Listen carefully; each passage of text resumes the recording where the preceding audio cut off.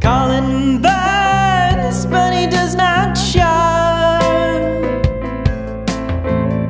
The fire laps at his appendages. Ember spurred cannot leave a scar. He is safe behind his bandages. The alias, the other skin.